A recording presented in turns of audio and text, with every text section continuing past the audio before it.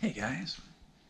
So I do something a little different this morning. Uh, I'm gonna show a little bit of my prep work for my long run, last long run before Dopey. So it's uh, going to be uh, a difficult one. I'm doing all 32 kilometers on the treadmill, uh, which is going to really suck. But uh, just for various reasons, outside's not going to work for me today. So it'll be long, it'll be boring, but we're going to get it done. So uh, gonna have some pre-race breakfast and then get dressed, ready to go, and, and hop in the treadmill. Remember, you have sandwiches and Saturday Night Live, taped from last night. It's my long run tradition.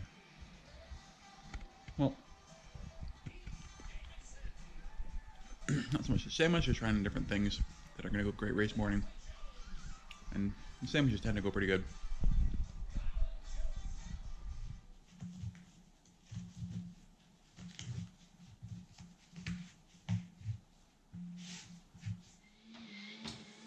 Stage is set.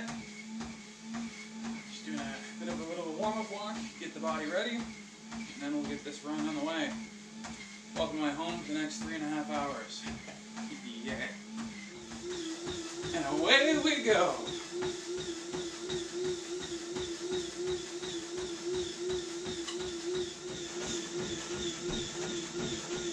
Almost 18 in. It's been uh, just a hair, just a bit over hour 50. Still going strong. Uh,